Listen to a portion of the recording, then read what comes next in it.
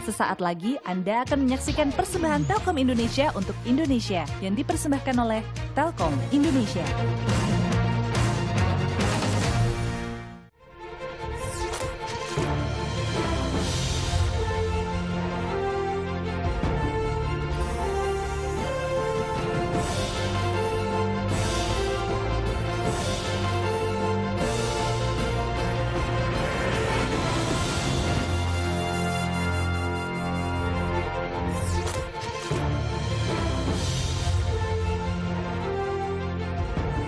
Selamat pagi Indonesia. Pagi ini kami hadir khusus untuk menyiarkan detik-detik peluncuran satelit Telkom 3S langsung dari Guyana Space Center Kuru Guyana, Prancis. Selain itu kita akan melihat suasana nonton bareng di kantor pusat Telkom yang juga akan menyimak bersama-sama nantinya live streaming peluncuran satelit Telkom 3S. Dan bersama saya pagi ini sudah hadir Bapak Abdul Karim selaku Kepala Pusat Teknologi Satelit dari Lembaga Penerbangan dan Antariksa Nasional. Selamat pagi Pak Karim. Selamat pagi, Marika. Nantinya Pak Karim akan menjelaskan bagaimana proses satelit Telkom 3S ini meluncur begitu ya Pak Karim ya. Dan untuk mengawali program khusus pagi ini kita akan simak informasi perkembangan persiapan peluncuran satelit Telkom 3S. Jelang peluncuran satelit Telkom 3S di Kuru Prancis, roket dan satelit ditarik ke landasan peluncuran. Satelit Telkom 3S ini merupakan satelit ke-9 sepanjang 40 tahun perjalanan satelit Telkom Indonesia. Senin pagi waktu Guyana Prancis atau Senin malam waktu Indonesia, roket dan satelit Telkom 3S yang akan meluncur dari Kuru Prancis ditarik menuju landasan peluncuran. Uh, ini bukan merupakan pengecekan terakhir ya. Jadi nanti pengecekan terakhir itu biasanya pada saat waktu-waktu uh, akan diluncurkan ya. Jadi ini sudah mulai dicek per jam ya. Kondisinya apakah masih sesuai dengan rencana apa tidak. Dan tentunya selain dari roket ini juga kita harus melihat kondisi cuaca nanti pada saat peluncurannya. Petugas juga mengecek kondisi roket dan satelit tiap jam, memastikan teknis peluncuran nanti berjalan lancar. Sekarang adalah saatnya roket dan satelit ini berpindah dari Final Assembly Building ini menuju ke area launch pad dengan kecepatan 2,5 km per jam ini hingga mencapai 4 km per jam menempuh jarak 4 km akan segera berpindah cepatnya.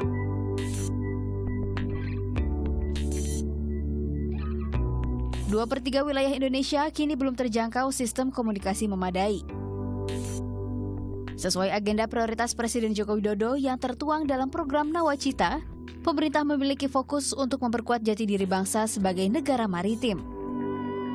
Salah satunya dengan mengkoneksikan seluruh wilayah terluar, terdepan, dan terpencil di Nusantara.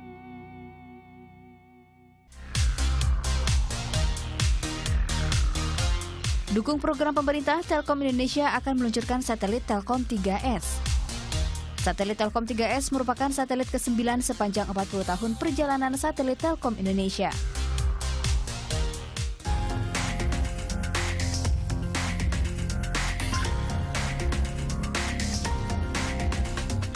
Satelit Telkom 3S akan berada di ekuator posisi 118 derajat bujur timur atau tepat di atas Pulau Kalimantan dan bergerak mengelilingi bumi. Selamat atas peluncuran satelit Telkom 3S. Semoga kehadiran satelit Telkom 3S dapat menopang kemajuan industri nasional, mendukung konektivitas bangsa Indonesia, dan semakin memudahkan komunikasi antar wilayah di seluruh negeri. Jangkauan satelit Telkom 3S mencakup seluruh wilayah Indonesia, Asia Tenggara, dan sebagian Asia Timur. Desainnya pun dilengkapi dengan transponder Kuban yang tidak dimiliki satelit Telkom sebelumnya.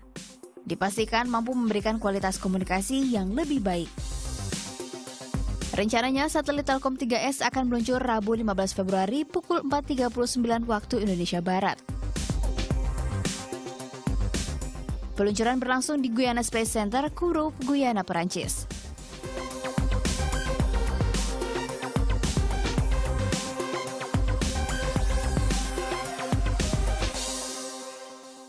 Nah itu tadi penjelasan tentang satelit Telkom 3S dan jelang peluncuran satelit Telkom 3S di Guyana, Prancis. Doa bersama pun juga dilakukan di kantor Telkom Gatot Subroto, Jakarta Selatan. Untuk mengetahui kondisi terkini kita sudah bersama Anjana Demira. Anjana bagaimana kemeriahan di sana saat ini? Ya Rika, acara rangkaian acara doa bersama jelang peluncuran satelit Telkom 3S juga sudah dilakukan di kantor Telkom Gatot Subroto. Nah, acara ini sudah dimulai sejak tadi pukul 3 pagi di mana tadi diawali dengan stand up komedi dari Cak Lontong, kemudian menyanyikan lagu Indonesia Raya bersama-sama. Kemudian tadi juga dibuka dan dihadiri oleh Direktur Utama PGS Telkom Group, Herdi Harman. Nah, eh, rangkaian acara ini juga nanti adanya live streaming langsung di mana memang Telkom Telkom untuk peluncuran satelit Telkom 3S ini Telkom bekerja sama dengan uh, Space Alinea dengan Space Alinea Center yaitu untuk pembuatan bodi pesawat dan juga Ariane Space untuk peluncuran uh, untuk peluncuran satelit ini. Dan peluncuran satelit ini nanti dilakukan di uh, Space di Guyana Space Center di Kuro Guyana Perancis di mana diperkirakan uh, akan meluncur pada tanggal 14 Februari uh, sekitar pukul uh, 18.39 waktu Guyana Perancis atau 15 Februari waktu 04 39 waktu Indonesia Barat.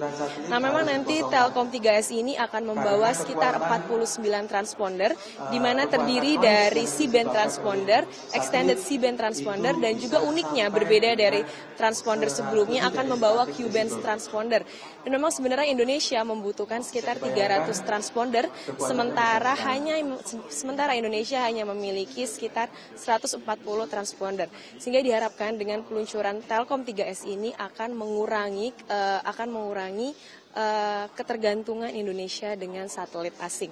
Nah, diketahui memang Indonesia sebagai negara kepulauan terbesar sehingga membutuhkan jaringan telekomunikasi yang baik. Sehingga dengan uh, berhasilnya meluncur Telkom 3S ini maka diharapkan akan menjangkau daerah-daerah terpencil.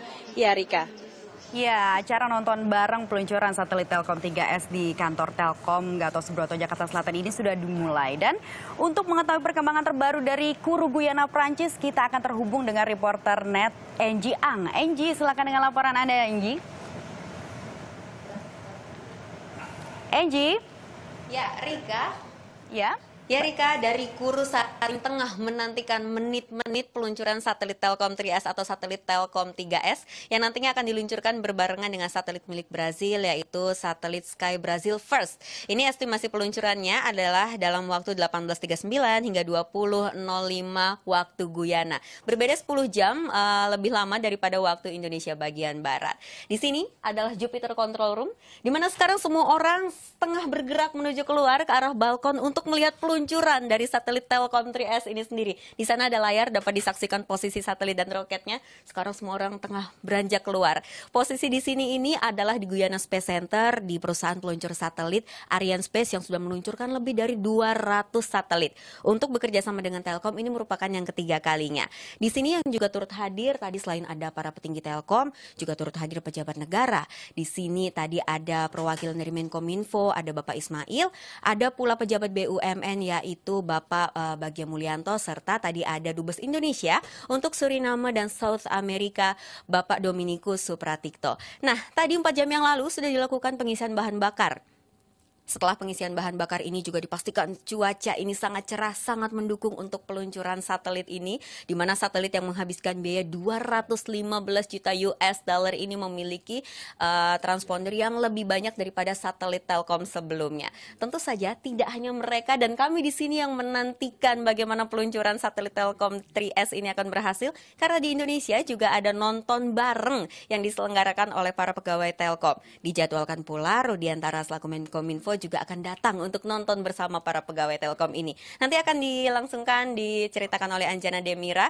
Sementara dari Kuru kembali ke studio. Rika. Ya, cuaca cerah di sana. Kita akan menantikan uh, semoga saja peluncuran satelit Telkom 3S ini berhasil ya. Dan kita akan kembali lagi setelah jeda.